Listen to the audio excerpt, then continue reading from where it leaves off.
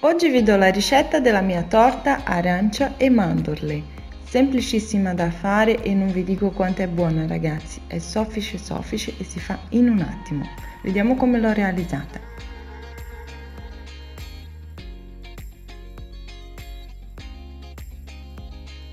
All'interno di una ciotola mettiamo il pralinato di mandorle, lo zucchero e le uova.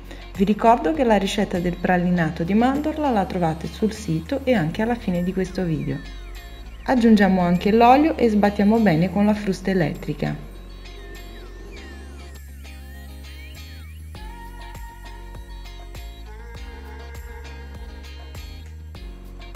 Ora aggiungiamo le scorze delle arance, il succo, mescoliamo ancora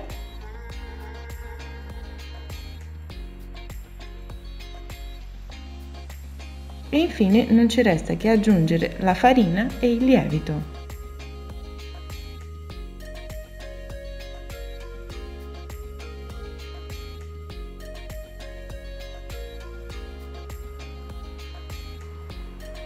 Mescoliamo giusto un attimo in modo da amalgamare bene tutto quanto e versiamo l'impasto all'interno di uno stampo ben imburrato e infarinato. Inforniamo a 180 gradi per circa 30-35 minuti. Fate sempre la prova dello stecchino per sapere quando è pronto il dolce.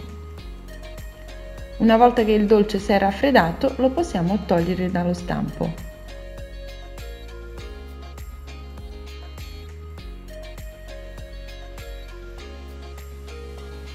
Ed ecco qua la nostra ciambella arancia e mandorle. È già buonissima così, però io vado a decorarla con un pochino di cioccolato fondente sciolto al microonde e qualche fettina di arancia tagliata a forma di farfalla.